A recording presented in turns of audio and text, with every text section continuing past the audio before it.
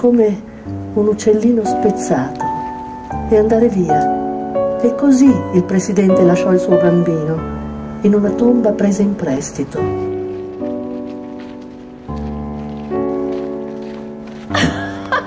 che bello! Ci incontreremo tutti quanti nella mia antica magione e io sarò una simpatica vecchietta, dice mamma. Voi, ragazzi, mi porterete le torte dalla mattina alla sera. Io me ne starò seduta, chissà come sarò grassa. Voi ragazzi dovrete comprare un carretto e trasportarmi a turno. Mamma ha una risata così bella. that thinks I'm going to be here forever and that thinks that I'm the center of the universe. Uh, so this book for me was that process.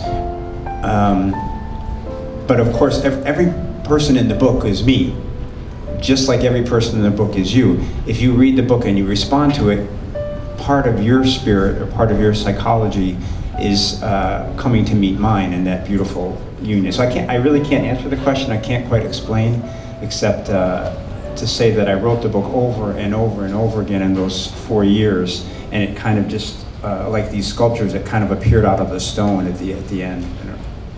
Per me la scrittura del libro è stato un po' questo, cercare di stupirmi continuamente, di uscire dalla pigrizia che mi fa pensare che io sarò qui per sempre. Il libro quindi è un frutto di questo eh, processo, ma al tempo stesso tutte le voci del libro sono, sono, io, ma tutte le voci del libro sono anche tu, o sotto, eh, qualsiasi lettore eh, tro, ritrova la sua voce fra le voci del libro. È una mh, domanda molto difficile a cui rispondere. Quello che io posso dire è che io sono andato avanti a scrivere, a scrivere eh, per quattro anni e tutto a un tratto mi sono trovato davanti il libro, un po' come mi sono trovato davanti alcune delle sculture che ho visto qui nel cimitero.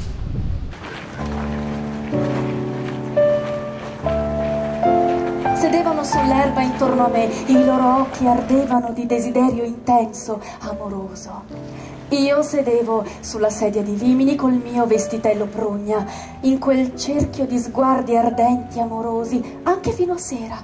Poi uno dei ragazzi si stendeva sull'erba e diceva Oh, le stelle! E io Oh sì, come sono belle stasera! Mentre, lo ammetto, immaginavo di sdraiarmi accanto a lui. E poi ero di nuovo lì sul sentiero con i miei due amici e sotto di noi si stendeva una valle lontana, dove io, curiosamente, Sapevo che eravamo diretti.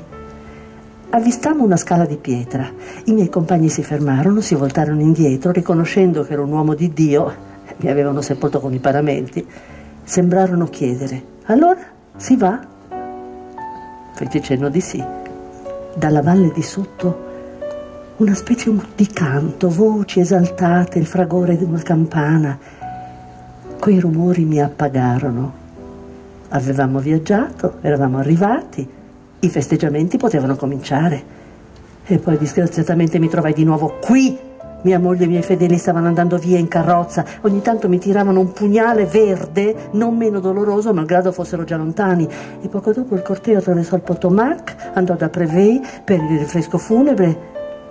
Fui colto dal panico all'idea di restare bloccato qui. Volevo solo raggiungere i miei amici lì, su quella scala.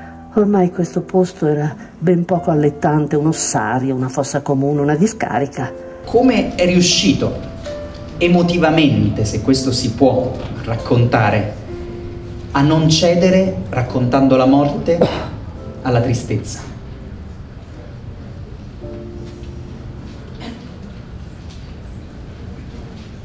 you know, if you were, uh, if we were here in this crypt, whatever, And um, suddenly we heard some wolves outside, you know, howling, hungry wolves. Um, one impulse might be to pretend that we didn't hear it. No, no, no, this is probably just dogs, you know, or something. But at some point, it seems to me a more positive uh, reaction to say, okay, those are wolves, and they're hungry, and we're in trouble. Then you can start to have a party.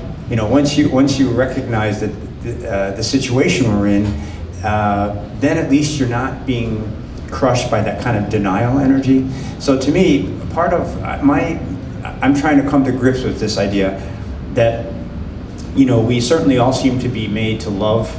You know, we, we find people to love and that becomes the, the reason we live. No matter what we think the reason is, ultimately the people we love is, uh, that's the reason.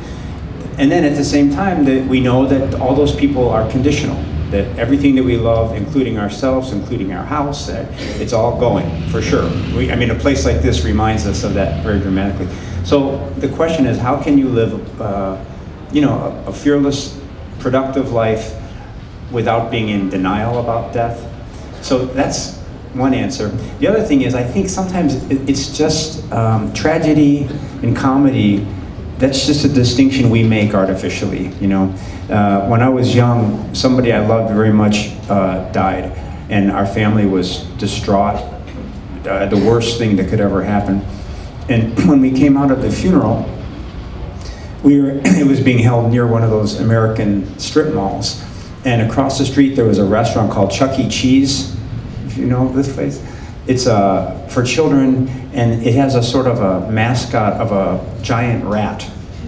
A, a guy walks around in a rat costume. So we came out of the funeral, and he was outside having a cigarette. You know. so you think which is true, which is real life, and you know, bo- both.